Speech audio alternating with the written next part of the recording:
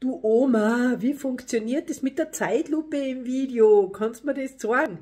Ja klar, sage ich dir das. Ist ja ganz einfach. Bin ich da in CapCut drinnen und ich sage neues Projekt.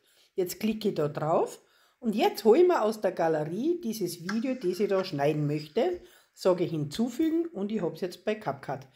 Wenn du jetzt unten die Leisten anschaust, da die Schere, Audio, Text und so weiter, wenn ich das Bild markiere, so wie jetzt, dann sehe ich unten eine neue Aktionsleiste. Teilen, Geschwindigkeit, Animation und so weiter. Wenn ich weiter scroll bis zur Lautstärke. Jetzt kann ich als erstes mal die Lautstärke weggeben.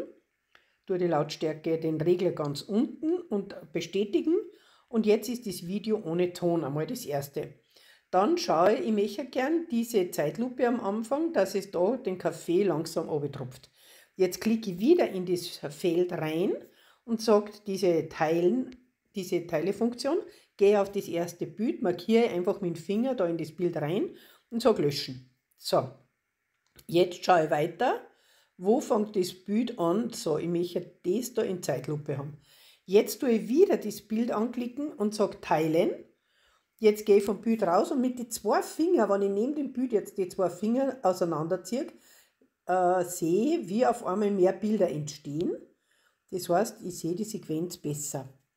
Jetzt gehe ich in das erste Feld hinein. Jetzt habe ich wieder meine neue Bearbeitungsleiste.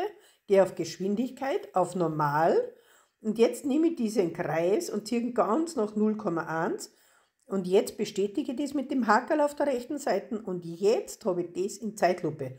Wenn ich es jetzt abspüle, das Video, sehe, dass da ganz langsam anfängt, die Tropfen runterzufallen. Und jetzt habe ich die normale Geschwindigkeit.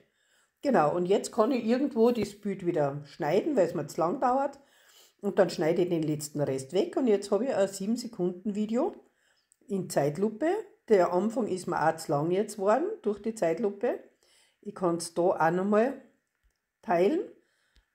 Schneide den ersten Teil auch nochmal weg. So, und jetzt, wenn ich es habe, habe ich jetzt das Video wo der Kaffee, die erste Teil in Tropfen runterfällt und jetzt normal. Genau, siehst du das?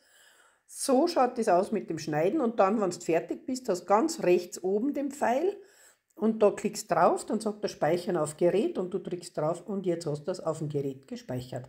Jetzt wünsche ich dir gutes Gelingen bei deinem Video in Zeitlupe. Ciao, Pfiat